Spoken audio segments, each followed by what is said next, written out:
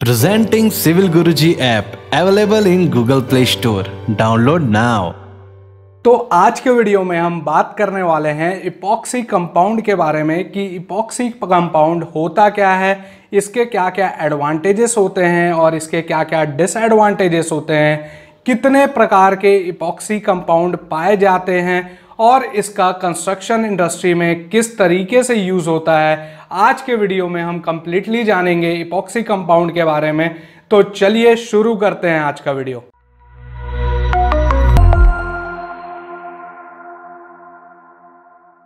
hello engineers welcome to the world of civil Guruji मैं engineer Vivek Kumar Pandey corporate trainer आप सभी का स्वागत करता हूँ आपके पसंदीदा चैनल सिविल गुरुजी में जहाँ हम बात करते हैं कंप्लीटली सिविल इंजीनियर्स के ग्रोथ के रिगार्डिंग तो सबसे पहले हम लोग देखते हैं कि what is epoxy compound epoxy compound होता क्या है?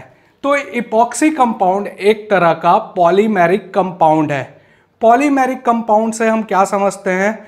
तो पॉलीमेरिक कंपाउंड होता है group of chemical compound that consist of large molecules of repeating subunits यानी कि एक छोटा यूनिट होता है। वो छोटा यूनिट बार बार रिपीट होने की वजह से एक लार्ज मॉलिक्यूल फॉर्म करता है और उसके ग्रुप को हम पॉलीमर बोलते हैं। तो इपॉक्सी कंपाउंड एक तरह का पॉलीमेरिक कंपाउंड होता है। पॉलीमर में मॉलिकुलर स्ट्रक्चर होने की वजह से इसमें टफनेस और इलास्टिसिटी के लिए इपॉक्सी कंपाउंड रिस्पॉन्सिबल होता है।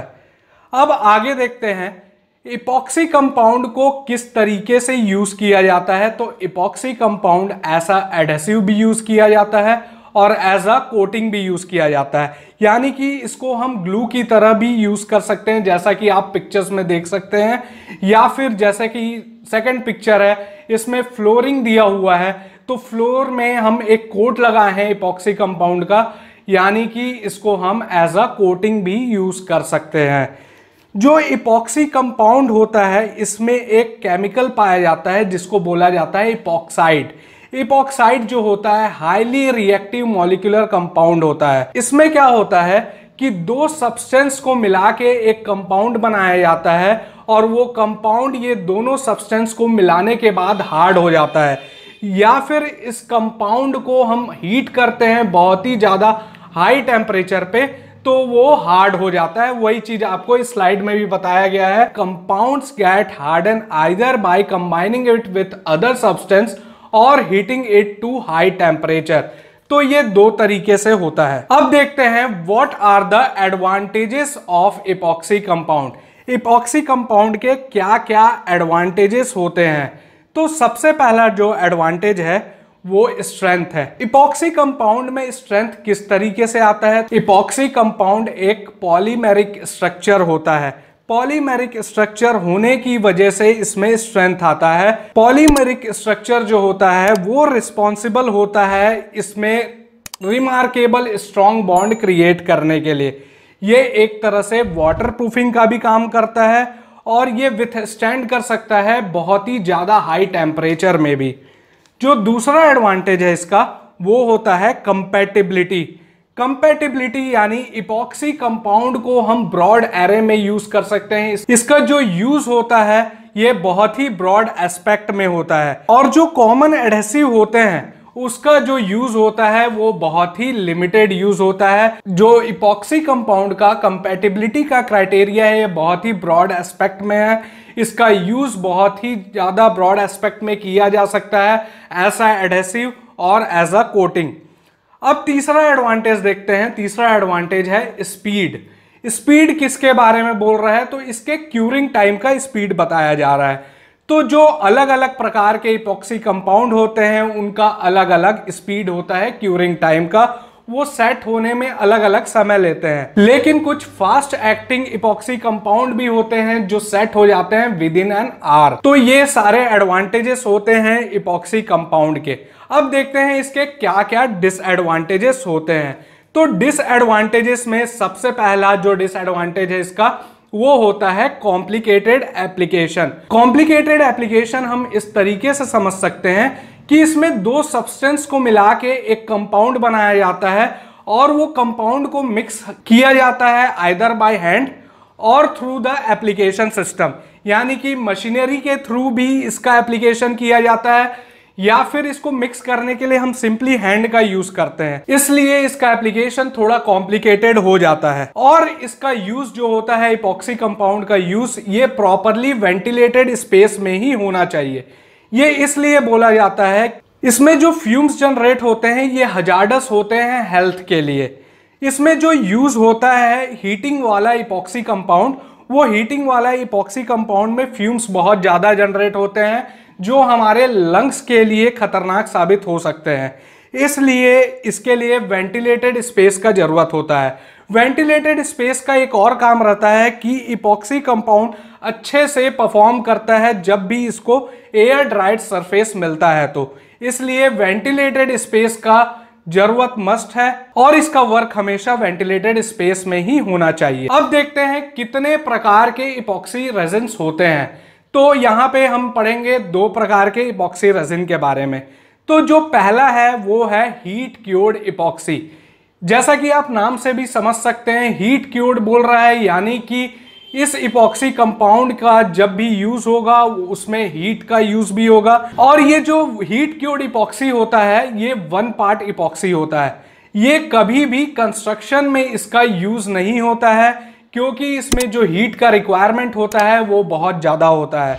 ये कॉमनली यूज़ होता है इलेक्ट्रॉनिक डिवाइसेस में इंफ्रारेड टेलीस्कोप में medical devices and missile warning system में। ये सिंगल पार्ट इपॉक्सी होता है, इसमें दो कंपाउंड को मिक्स करके नहीं बनाया जाता है, इसमें एक सिंगल कंपाउंड ही रहता है, जिसका हम यूज़ हीट के ज़रिए करते हैं। इसलिए इसको वन पार्ट इपॉक्सी भी बोला जाता है। अब हम देखते हैं टू पार्ट इपॉक्सी के बारे में। ये दूसरा प्रकार का इपॉक्सी रेजिन है। इसमें दो सब्सटेंस यूज़ होते हैं। जैसा कि आप इस पिक्चर में भी देख सकते हैं, जो ए कंपाउंड है ए कंपाउंड आपका रेजिन बोला गया है और बी कंपाउंड को हार्डनर बोला गया है। जब इन दोनों को मिक्स करेंगे, तभी जाके ये यूज़ में आएगा और ये केमिकल एक्शन के ज़रिए हार्डन होगा। तो इस तरीके का टू पार्ट जो इपॉक्सी होता है, वो किस तरीके से वर्क करता है? तो सबसे पहले ये ट्रांसफॉर्म होता है थिक लिक्विड के फॉर्म में रहता है। ये थिक लिक्विड से ट्रांसफॉर्म होता है पुट्टी के फॉर्म में। और उसके बाद जब हम इसका क्यूरिंग करते हैं तो ये हार्डन सब्सटेंस में कन्वर्ट हो जाता है।